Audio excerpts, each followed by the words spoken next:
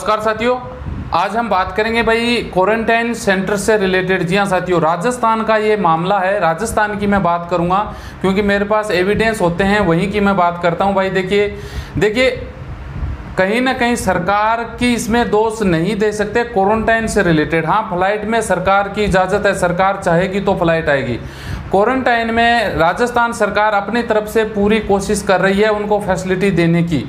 और लगभग एक बंदे का पर डे ये सुनने में आ रहा है कि ढाई हज़ार रुपये एक कैंडिडेट का खर्चा बता रहे हैं। अब इतना खर्चा कैसे लगता है? मुझे समझ में नहीं आया। आपके साथ दो बातें रखूँगा, दो पक्ष। प्लस पॉइंट और माइनस पॉइंट। एक ही राजस्थान, जयपुर में क्वारंटाइन सेंटर है, राजस्थान में जो विदेश से आ रहे हैं। और भाई, राजस्थान में सबसे कम आदमी अभी तक पहुँचे हैं, लगभग दस हज़ार के करीब अभी तक दो से तीन महीने में। आदमी इंडिया राजस्थान पहुँचे हैं, विदेशों से फंसे हुए। ये लगभग चार से पाँच दिन पहले साढ़े सात, आठ हज़ार आदमी थे। अभी हो सकता है हज़ार पंद्रह सौ और आ गए होंगे। तो एवरेज इसको दस हज़ार आदमी मान सकते हैं। सबसे कम स्टेट में दस हज़ार आदमी, जबकि आदमी विदेशों में लाखों की संख्या में आने वाले हैं। जी हाँ साथियों तो ये स्थिति है। अब गहलोत सरकार अपनी तरफ़ से क्वारंटाइन सेंटर में, मेरे पास कल एक एक बंदे ने इमेज वगैरह फ़ोटो वीडियो भेजा। उसमें अच्छा खाना मिल रहा है।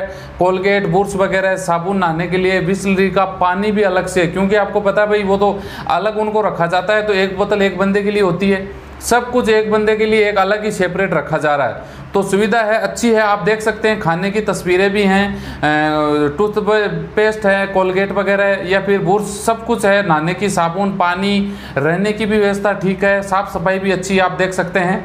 वहीं दूसरी तरफ़, ये जयपुर का मामला है, और ये आगे इसका रीज़न भी बताएँगे। दूसरी तरफ़ आप देखिए, पानी कहाँ पड़ा है? यार अफसोस होता है मुझे, जो बिसलरी जो पानी है, सरकार आपके ऊपर खर्चा करती है, वो पानी ऐसे पड़ा है धूप के अंदर। और आपको पता है भाई, कितनी भयंकर गर्मी है 40 प्लस पारा यहाँ पे चढ़ रहा है। अगर आप एक बोतल को दोपहर को दो घंटे के लिए आप धूप में रख दो तो वो पानी का तेल बन जाता है। मतलब इतना वो गर्म हो जाता है वो पानी। तेल की तरह उसको पीते हैं तो तेल का सा स्वाद आता है। और हमारे विदेशों से फंसे हुए भाई इंडिया में आके, जयपुर में आके ये देखिए, ये पानी पी रहे हैं। आप वीडियो के माध्यम से देख सकते हैं कि ये हालात हैं। खर्चा लग रहा है सिर्फ़ लापरवाही की वजह से। यानी साबुन आप वीडियो में, नेक्स्ट वीडियो में देखिए, साबुन की स्थिति है कि एक नहाने वाली साबुन कपड़े धोने वाली साबुन को भी एक को काट के दिया जा रहा है। एक साबुन को कि भी दो आदमी इनसे कपड़े धोए, इनसे नहाने नहीं, कोई कोलगेट, कोई कुछ नहीं है। सोशल डिस्टेंसिंग नाम की कोई चीज़ नहीं है, कोई सफ़ाई नहीं है। अब दो बातें बताई, एक जगह अच्छा मिल रहा है, एक जगह बुरा मिल रहा है। इसमें भाई, सरकार तो कुछ नहीं करती ना। सरकार से तो बजट निकल रहा है आप लोगों के लिए।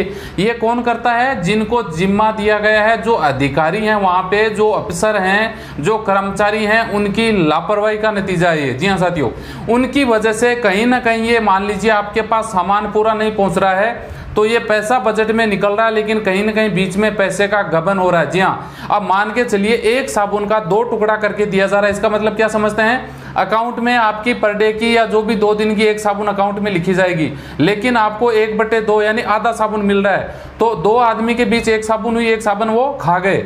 इसी तरह से आपके खाने में भी हो सकता है, आपके पानी में भी हो सकता है, आपके और भी आपको सामान, जैसे नाश्ता देना होता है, चाय देनी होती है, आपकी दवाई वगैरह, जो भी आपका प्रोसेस होता है, उसमें सब में फिर वो तो चिटिंग कर रहे हैं। तो ये स्थिति है भाई, आप मुद्दा उठाएँ, वीडियो बनाएँ, लोगों को सोशल पे, सोशल मीडिया पे डाल दें ऐसे लोगों का वीडियो, ताकि इनके खिलाफ कार्रवाई होगी, तभी इन लोगों को समझ में आएगी। सरकार अपनी तरफ़ से बेस्ट करने की क्वारंटाइन के मामले में शुरू में दिक्कत हुई थी, बाद में सरकार ने सुधार किया सिस्टम ठीक रहा। दोनों में देखिए, एक में अच्छा एक में खुद बंदा बोला, सर अच्छा है, हम मज़े में रह रहे हैं। और एक में देखिए, लोग कैसे चिल्ला रहे हैं, सामान के लिए लाइन लगानी पड़ रही है, उसकी तरफ़ देखना पड़ रहा है बेचारों को, ये हालात हैं। सरकारी कर्मचारियों की अफसरों की उनकी लापरवाही की वजह से ये काम हो रहा है। कहीं ना कहीं ये गफला कर रहे हैं, पैसा खा रहे हैं। क्वारंटाइन के नाम से आप लोगों का जो बजट आ रहा है, ये लोग खाने की कोशिश कर रहे हैं। तो साथियों, ध्यान रखें, जो भी क्वारंटाइन में है भाई, वीडियो बनाएँ आप। आपको लगे ना तो वीडियो बना के सोशल मीडिया पे शेयर कर दो आप। आपका कुछ, कोई कुछ नहीं उखाड़ सकता, अगर आप सही हो तो। सोशल मीडिया इसी के लिए बनी है कि आवाज़ उठाई जाए।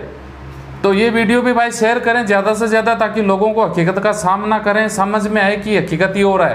क्वारंटाइन वालों को भी पता लगे कि भाई हाँ ऐसा नहीं, ऐसा हो रहा है। बस आज की जानकारी यही थी साथियों। वीडियो अच्छा लगे तो लाइक करें शेयर करें चैनल ज़रूर सब्सक्राइब करके बेलाइकन दबा के रखें, ताकि विदेश से रिलेटेड से इन्फॉर्मेशन आपको यहाँ पर मिलती रहे। जय हिंद, वंदे मातरम।